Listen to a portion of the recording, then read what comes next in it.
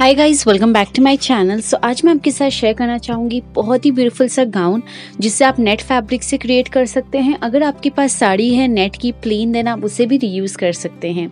इसे बनाने के लिए आपको ज़रूरत होगी दो मीटर नेट फैब्रिक की एंड एक मीटर ऊपर की बॉडीज़ बनाने के लिए। अगर आपको अस्तर लगाना हो तो एक मीटर अस्तर भी आपको लगेगा।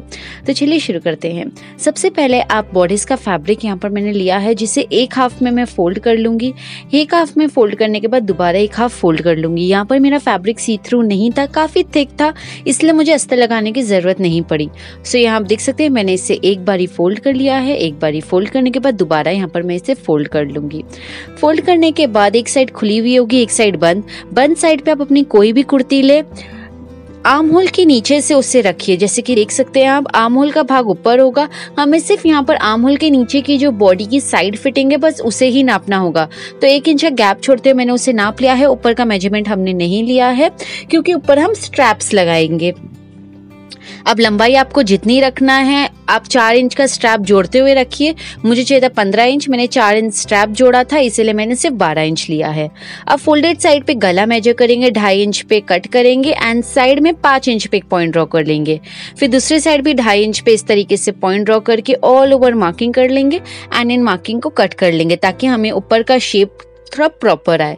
इस तरीके से मार्किंग कटिंग करने के बाद जब आप फैब्रिक ओपन करेंगे, आपको ऐसे ही दो फैब्रिक नज़र आएँगे, एक फ्रंट के लिए एंड एक बैक के लिए।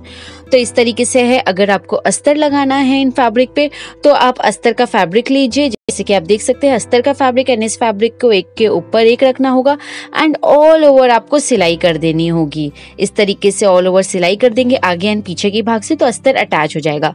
फिर जो आगे का फर्दर प्रोसीजर है, वो उसी तरीके से करना होगा। अब मैं इसे इन्हांस करने के लिए लेस लगा लूँगी तो यहाँ पर मैं अपने गले पे एंड आमहोल के साइड पे ऑल ओवर लेस लगा लूँगी एंड इसी लेस की मैं पट्टी भी ड्रॉ करूँगी तो चार इंच की पट्टी चाहिए था तो मैं लंबाई लूँगी आठ इंच की, जिसे फोल्ड करने के बाद हो जाएगा चार इंच तो इस तरीके से हमें पट्टी भी अटैच कर लेना होगा एंड हमारा ऊपर का ब्लाउज हो जाएगा तैयार। यहाँ पर आप देख सकते हैं, बहुत ही आसानी से हमारा ऊपर का बॉडीज तैयार हो चुका है। अब नीचे का घेरा तैयार करने के लिए मैंने यहाँ पर लिया है तीन मीटर का नेट का फैब्रिक जिससे हमारा घेरा अच्छा है। इसमें छोटे छोटे चुन देते हुए प्लीट्स लगा लेना होगा ऑल ओवर आपको नेट का फैब्रिक पहले रखना होगा, फिर उसके नीचे अस्तर का फैब्रिक रखना होगा, फिर प्लीट्स बनाना होगा जिससे आपका जो घेरा है वो काफ़ी ज़्यादा बाउंसी आए। यहाँ पर आप देख सकते हैं, मैंने इसके नीचे सबसे पहले अस्तर का फैब्रिक रखा है, फिर नेट का फैब्रिक रखा है एंड छोटी छोटी प्लीट्स बना लिया है। नेट का फैब्रिक की लंबाई कमर से नीचे तक की जितनी लंबाई है, उतनी आपको रखना होगा। तो यहाँ पर मैंने सिलाई दे दिया है, मेरा नेट काफ़ी बाउंसी हो गया। अब बस इसे फ्लिप करके साइड की सिलाई दे देनी होगी। पहले नेट को सिलाई देनी होगी, फिर उसके बाद अस्तर की सिलाई दे देनी होगी। इस तरीके से आप देख सकते हैं, मैंने सिलाई दे दी है साइड्स बस अब हमें बॉडीज अटैच कर लेना होगा इसके साथ। अब ऑल ओवर बॉडीज अटैच कर लेंगे एंड हमारा ये गाउन तैयार हो जाएगा। बहुत ही क्विक है गाइस एंड अगर आप बिगनर हैं तो भी आप इसे आसानी से बना सकते हैं। एंड अगर मेरे एक्सप्लेनेशन में आपको कुछ चीज़ नहीं समझ में आए तो आप कॉमेंट डाउन करके मुझसे ज़रूर पूछ सकते हैं।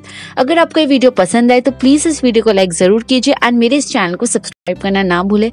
Thank you so much for watching guys bye till the next time